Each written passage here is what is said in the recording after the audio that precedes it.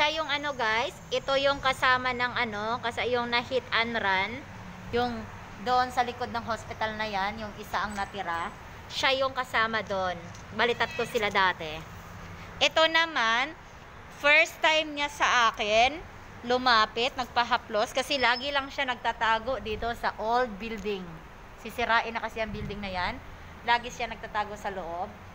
Tapos meron pang baby black cat dito sa loob. Hindi ko alam kung nasaan siya ngayon. Wala siya ngayon, tinatawag ko.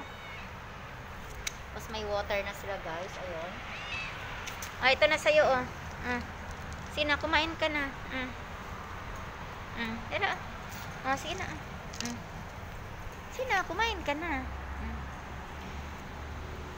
Nagpapahaplos siya. First time niya nagpahaplos sa akin. Dati kasi hindi to nagpapahaplos. Takot sa tao. Yan, nagpapahaplos na yan. Umupo pa sa may ano ko. Paahan.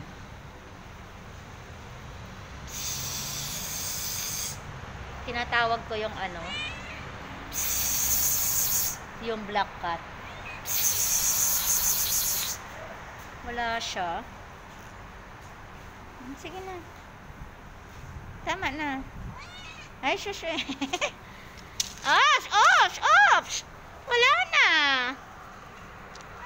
Hmm. Wala na.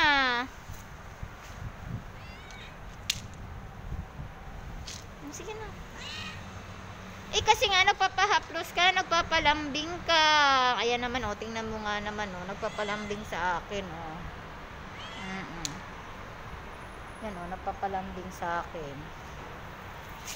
Ming Ming! Yan, malambing din yun. Ito, maharot ko eh.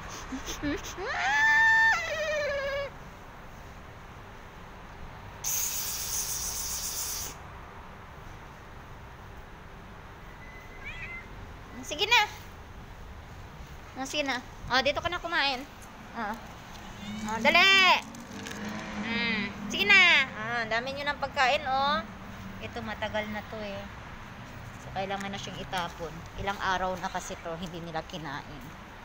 Napanis na. Dali. Ayan, nagtago na naman, oh.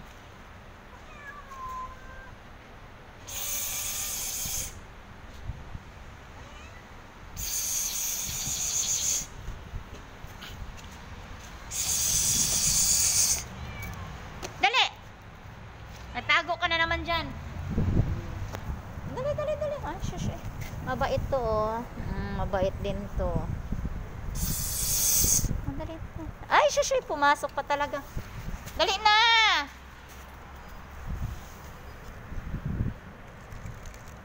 Yan, may water na.